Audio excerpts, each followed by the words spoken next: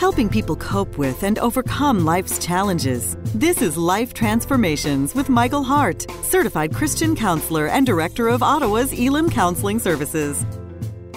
Hi, I'm Melissa Waggett, and I'm the co host of Life Transformation Radio Show, where we talk about uh, counseling issues from a Christian perspective with our host, Michael Hart, who's the director of Elim Counseling Ministries here in Ottawa.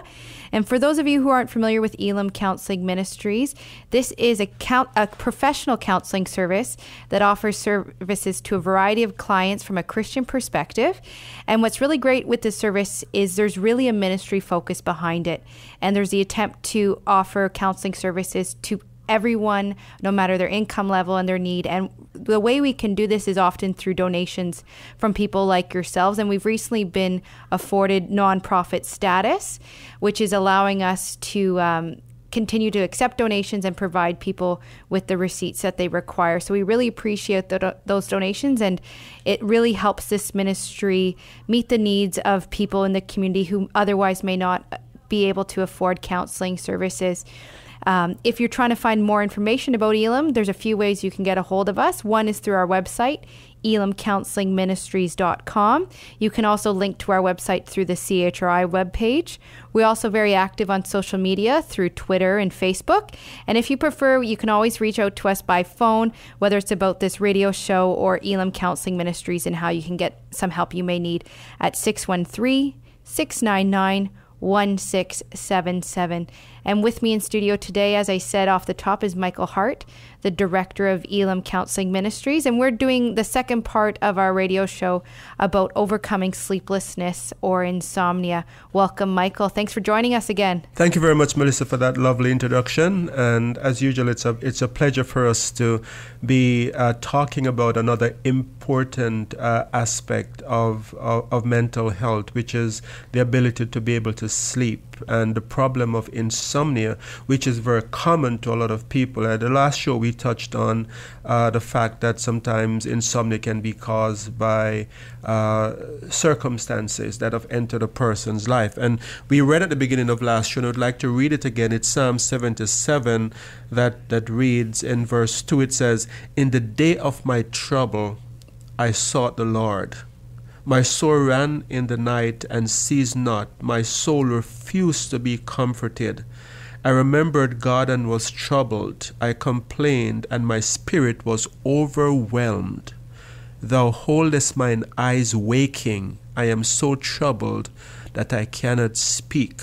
So here we have a reference to insomnia in verse 4, the last verse that I read, where the psalmist is saying, God, you're keeping my eyes open. You're you're holding my eyelids open that I cannot sleep. So it's as if this person is painting a picture. He's wrestling with God. He's trying to close his eyes to sleep, and he's saying, God, you're keeping my eyes open mm-hmm. so that I cannot sleep. So you may be listening to this show today, and you're saying, That's me. I remembered uh, uh, today we tweeted. Uh, uh, uh we, we, we tweeted about the show uh, on sleeplessness, and someone tweeted back right away to us saying, "That's me. Mm-hmm. That's exactly what I'm going through." So it, it's it, there's a lot of people out there who battle sleeplessness, and I think a show like this is is very good because it is given very practical tips. And in the first part of the show, if you missed it, then please go to our website and click on on the the first episode of this show on, on insomnia because there are very helpful uh, details there. In the first show, we covered a number of we covered uh, a few causes or categories into which sleeplessness could be covered. We said the first category was poor sleep caused by lifestyle. We looked, uh, we won't go back into it today, but we, we, we covered what the lifestyle choices were that led to sleeplessness, and we looked at also solutions. We also said that the second category was poor sleep caused by cognitive disturbance, and we looked at examples of cognitive dis- distortions that cause sleeplessness, and we also looked at solutions.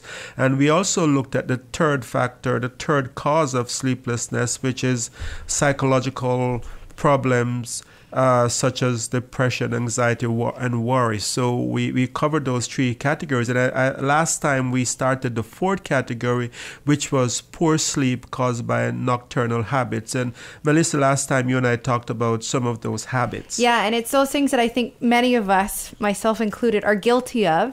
And it could be that cell phone at the side of your bed that buzzes, or you talked about even watching that action movie right before bed under the covers and and it and you watch those things or you have that phone that buzzes at two in the morning that you mm-hmm, just got to reach mm-hmm, for. Mm-hmm. And I think even if you were the best sleeper in the world, you'd have a struggle to go and wind down after those things. Absolutely. Or, and, and, we do it all the time. We do it all the time. And another another uh, uh, habit as well is couples who decide to have these serious conversation in bed. Yes, just before bedtime. And we've had sh- shows about that as well. Yeah, like let's talk about the most serious issue yes, in our yes, relationship. Yes. Let us talk about going into bankruptcy and yeah. how we are going to declare bankruptcy. Yeah, five to ten. How troubled we are, like just as we are trying to go to sleep. I think that that makes for uh, sleeplessness because it starts a, a quarrel.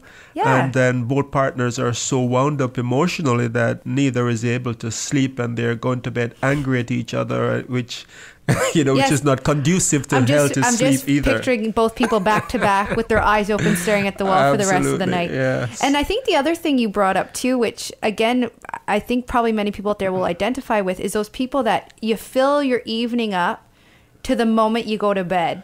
Mm-hmm. and you don't account give yourself any time to wind down. Mm-hmm. And so you may get home from work or whatever you do, make dinner, get the kids ready, do the laundry, clean the kitchen, and you're going, going, going, going, put your pajamas on in bed, and you expect to fall asleep. Mm-hmm, and you mm-hmm. said there's some issues with that too. Absolutely, because if you if you work right up until bedtime, then you, you have been active for, for so long that your uh, your your your your uh, hormones are flowing, endorphins are flowing because you have been physically active, and it makes you it puts you on this kind of uh, uh very alert mode, so that you're you're not preparing your body for sleep.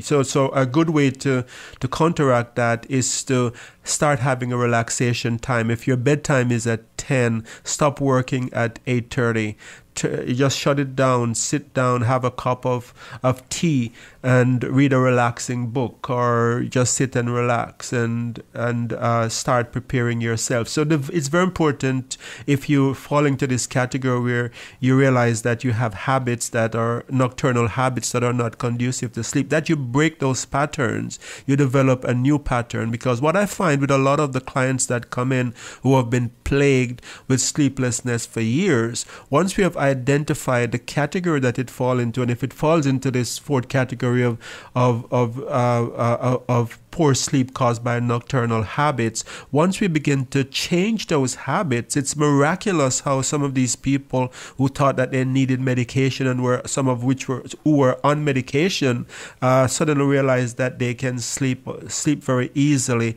just by changing mm-hmm. their nighttime routine. And I think what's really interesting with this category is even in the name itself where you say it's a habit. Mm-hmm. That sometimes you get in those habits that you don't even know you're doing it anymore because it's just normal. You mm-hmm. do it every day mm-hmm. and you've done it every day for years and years. So being able to take that step back and identify it or have someone guide you to that Absolutely. It's and, really important. And I think when it comes to solution, we kind of touched on some of the solution about changing some of those habits. But I'd like to go a, a little bit more deeply into that today because the, Dr. Bootzin uh, came up with a technique that has been since called the Bootzin technique that he have identified a number of steps that you can do if you fall into this category that can help you to to sleep a lot better. And he, he identified six things that can be done to help you help you to, to sleep if you're struggling with sleeplessness and it's it's caused by by this category. The first thing that he says is that if if you're struggling with sleeplessness, go to, to bed only when you are sleepy. So we talk about uh, winding down, sitting and relaxing. For people who work up until up until bedtime. They're they're so, they want to fall asleep at eleven and they, they go into bed eleven oh five and then they're so wound up that they, they, they can't fall asleep and then that leads to anxiety because I've been lying here now for mm-hmm. half an hour and I still can't sleep. What Dr. Bootzin says is that you, you go to bed only when you're sleepy. So you, you sit, you relax, you wind down, uh, you watch something relaxing, or you read a, a, relaxing book. And then, you know, a lot of times when, when people are, are not trying to fall asleep, sleep comes easily. Mm-hmm. But it's when you're, you know, you know what it, that's I, I'm like. watching that clock, and it's like a bomb going to go off, where you're just watch yes.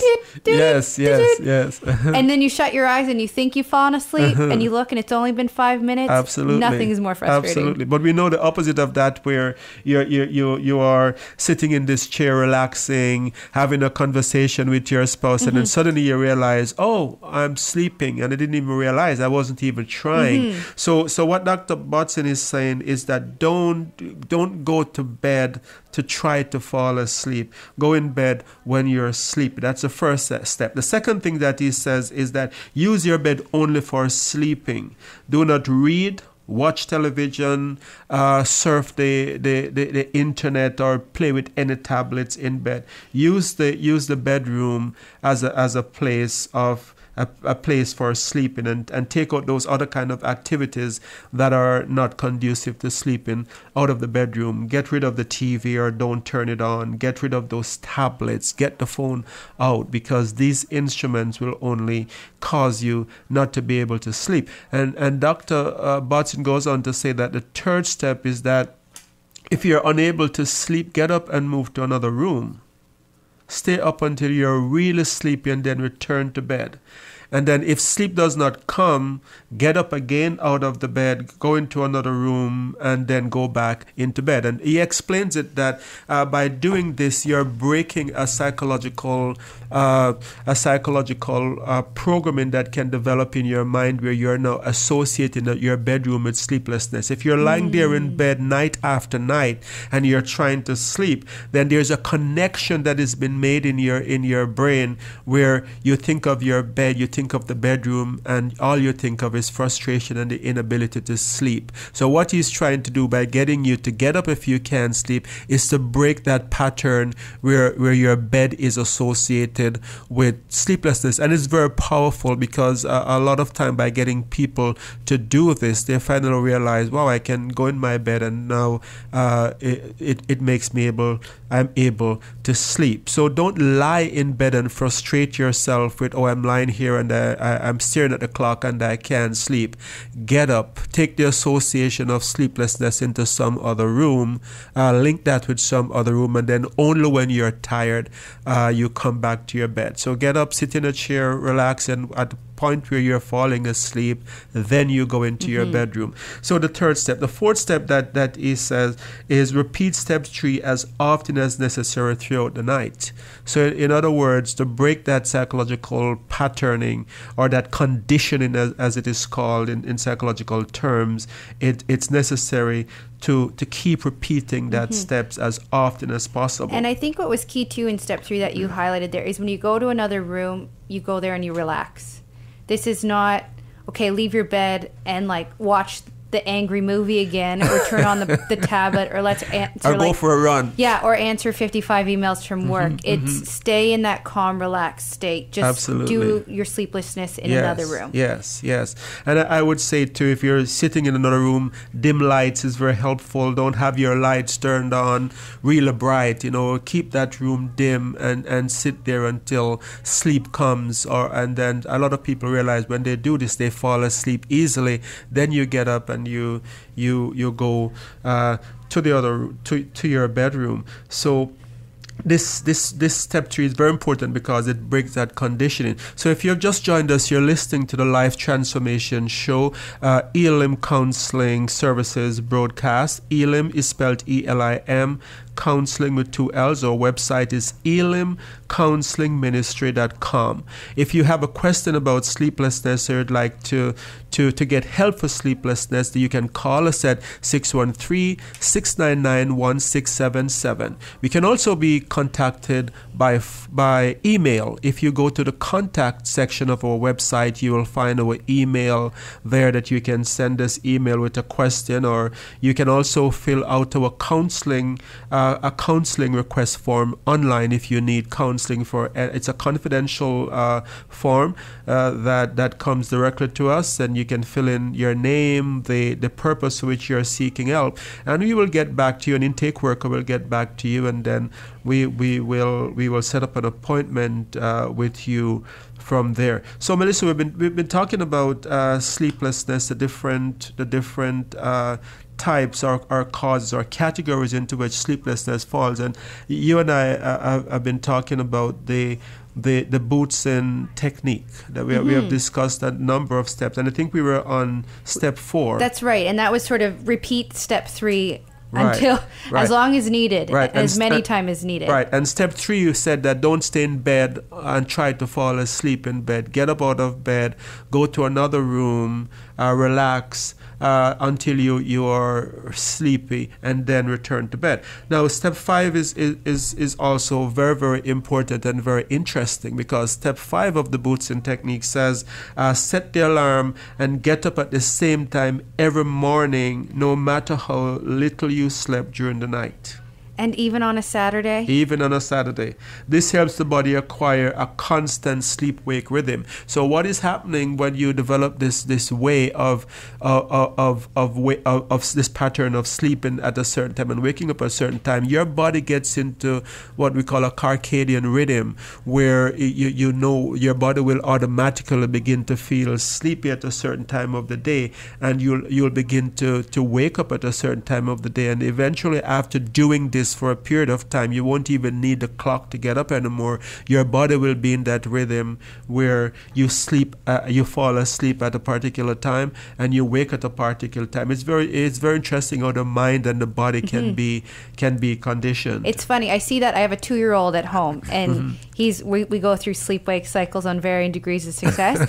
but it's interesting for him. He obviously doesn't function under alarm clock, mm-hmm, mm-hmm. but for the most part, he goes to the bed same time every night. But every morning, like clockwork, Mm-hmm. Literally, he'll be up at the exact same time. He's Melissa, my alarm you, clock. remind me of those days. I'm glad I'm over those oh, those gosh, days when my kids are older is... now. But I remember when my son was now who is now 21, mm-hmm. when when he was about uh, three or four, he would wake up at 4 a.m. in the morning and he would want to go outside and play. He doesn't mm-hmm. realize mm-hmm. that, and he would do that every morning. So I became conditioned to yeah. getting up at four. Exactly. And, and, you can see, though, how their circadian rhythm kicks in. Absolutely. And hopefully yours as a parent catches up too, so you're not too sleep deprived. Absolutely. So it, it's, it's, it's, sometimes it's difficult when you have younger kids, but it, as much as possible, if you need to take turns with your partner, if you're the one struggling with sleepiness, it's important to get into a rhythm. And then the sixth thing that uh, Dr. Bootzin talks about is do not nap during the day because when, when you nap during the day, you it, it, it, it makes makes you uh, very, very rested and unable to to sleep at night. So if you're having difficulty falling asleep and you realize, yes, I do take a nap every day at this particular time, or I nap every day at different times, it's very important for you to break that cycle and stop napping. So these six things, I think if you have missed the first few, you can go back to our, the podcast on our website after this show is ended and and look at those things. Mm-hmm. So we have covered four of the four of the six things uh, so far, and then the, the, the fifth of of the six things uh, has to do with poor sleep caused by medical condition or medication or or a medical a physical condition or medication. So uh, there there's sometimes a person might have an injury where there's back pain, for example, and so you lie and there is there is pain and you're not able to sleep, or you're on medication. Some medications have been known to to contain uh, substances that, that that are not conducive to sleep. So if you if you think that you you're having difficulty sleeping because of a medical condition, an injury, or because of the medication that you're on, then the solution for that is to make sure that you you have a, a conversation with your with your your your family doctor to say, I have this injury at night, I can't sleep because I am in pain. So the, the treatment for that is more medical than psychological. Mm-hmm. And, and, and that's always a good discussion too when you're getting prescribed maybe a new medication from mm-hmm. your physician or nurse practitioner, whomever, right. saying what are the side effects of this medication. So if Absolutely. you experience them, Absolutely. you can go back and have that conversation. Absolutely. So you can see how important it is to, to know what category you fall into because if you if you go to a counselor uh, who is not trained or skilled to be able to diagnose uh, which category. And you just go and say well I am having uh, a, I'm, I'm, I'm unable to sleep at night. And then this person starts telling you that you need to exercise or you need to come off caffeine when in truth and in fact it has nothing to do with any of that. It has to do with the fact that it's a medical condition. It's because of the medication that you're on, that makes all the difference mm-hmm. in the mm-hmm. world because it's like if, if, if you're not trained in this area of helping in sleeplessness, then you can be get, it's like giving a person the wrong prescription, uh, a, a, prescription for diabetes when in fact they have high blood pressure. Yeah, exactly. You're not treating that root you're cause. Not, you're not treating it properly. And so, and that's that other thing for us to stress too with the medical things is have the conversation with your doctor 1st mm-hmm. So if you think it may be a med, don't just stop taking your med talk to your doctor first and see if that really is the issue for you. Absolutely. So, so this is this is more of, of a medical medical solution. So most of the, the, the, all of the other techniques that we have looked at so far, we have looked at, at practical solution, mm-hmm. things that can be done. But if in this case it's a medical condition, then a, a physical condition such as pain or or medicate or uh, the fact that the person is on medication, it's important to speak with your your family doctor. And then we get to the, the, the sixth and final category into which sleeplessness is, is placed, and it's it's uh, what we call primary insomnia. This is this is a very uh, important category because uh, if a person has primary, maybe I, sh- I should explain what primary insomnia mm-hmm. is first. Primary insomnia uh, is a category where a person has had a long standing problem with insomnia that can be traced back to childhood. So it said that it is believed that this is caused by some chemical imbalance or problems with the nervous system. So if you have if you have primary insomnia and it, it, it you have had this uh, from you're a child and you can remember being taken to doctors by your parents for primary insomnia, it for insomnia, it's possible that you have you fall into this category that is called primary insomnia. Now, people who have primary insomnia also have uh, extreme sensitivity to things such as noise and stimulants. So you can see how it goes hand in hand. Because if you are extremely sensitive to noise, then you're going to have a difficult time sleeping at nights if you have if you can hear a car horn from 10 miles away mm-hmm. because you're so sensitive to noise or if you're sensitive to stimulants you can imagine that having a cup of coffee in the morning yeah right, it's going to linger or yesterday that right, coffee or, or yesterday it's, it's going to be affecting you more than it would affect your your normal your average person so if if you're listening to then you can say well I, it's seem as if I am having, I fall into this category of primary in, insomnia. This kind of, of sleep uh, of, of sleep disorder is, all, is, is also best treated by a physician, a doctor, where you probably have to go to your doctor, uh, talk about what you're experiencing, and get medical help.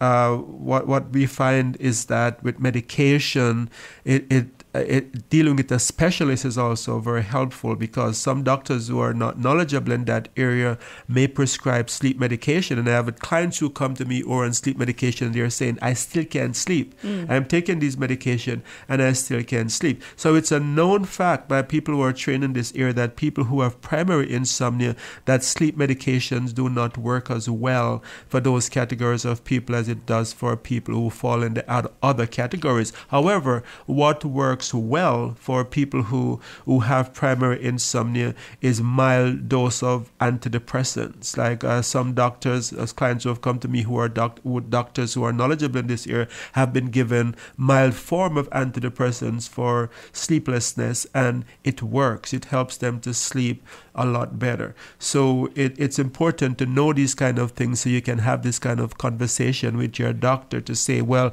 this is not working for me. The sleep medication is not working. And so antidepressants might be a better way to go for people who are struggling with primary insomnia. And so it's good you touch on medications there because that was going to be one of my questions for you as well is we've talked a lot about personal factors that can be changed by an individual, whether on their own or with the guidance of a counselor like mm-hmm, yourself. Mm-hmm. But there always comes into play in conversations about this the, the, medication piece right and are there situations where it's necessary and how do you guide clients um, in making those choices Absolutely. I think if to answer that question, we could probably go back to what I touched on in the first show when we talked about the different types or stages of insomnia. So it's important before medication gets into the picture that a person looks, uh, uh, number one, on what stage do I fall into? Am I into the transient stage where I have insomnia for one to three nights and then occasionally one to three nights and then after that I'm able to sleep. If you're falling into this category then there is really no no great concern there or need for medication. If you're into short-term insomnia where there are four nights to to 3 weeks then it's possible to to to do some kind of assessment to see what is the cause, where do you fall? Is it a lifestyle uh, reason why you can't sleep? Is it some injury that you have sustained? Where do you fall? Is it some kind of cognitive distortion that, that you're having that is keeping you awake? And then, if you can identify that it's in that category, there may be no need for medication as well. However, if you're into chronic, uh, uh, if you're in the, in, into the third category, which we call chronic uh, insomnia that is lasting for three weeks or more, and we have you have done assessment with a trained uh, therapist in this area, and it does not fall into into into any of the categories that we have talked about. Categories such as cognitive distortion or lifestyle patterns and so forth, or psychological reasons. Then it's very important for you to see uh, see a doctor and maybe be referred to a specialist so that you can see whether or whether or not there is something else going on there because sleep is very very very very important so we have come to the end of today's show melissa and uh, for the sake of the listeners uh, I, I, just want to, to, to repeat very quickly the six categories that we talked about in the two episodes. So the the first category or that sleeplessness falls into was poor sleep caused by lifestyle. The second category was poor sleep caused by cognitive distortion. The third category is poor sleep caused by a psychological problems such as depression. The fourth category was poor sleep caused by nocturnal habits. The fifth was poor sleep caused by medication, medical condition or, or medication and the sixth was uh, what we called primary insomnia.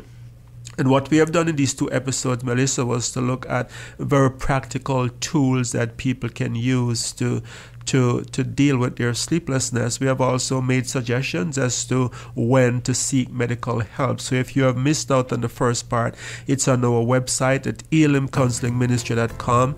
You can also give us a call at 613 699 1677. One of the things I didn't talk about was relaxation techniques. And I want to give a, a, away to the first 10 callers uh, a copy of a, a relaxation CD with, a, with an exercise that we use for relaxation called progressive relaxation technique, which is very helpful.